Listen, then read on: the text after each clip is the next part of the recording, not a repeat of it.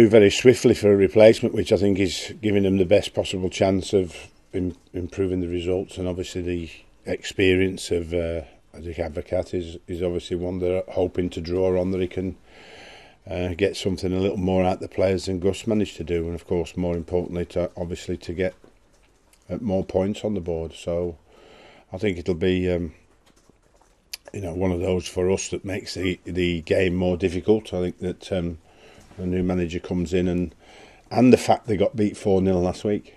I think the the players at Sunderland will be very hurt by the fact that they let the fans down. They'll also be, you know, feeling like they've let Gus down. I'm sure about that, and they'll want to do something about it. Like you know, so I think we'll have a very tough game on uh, on Saturday.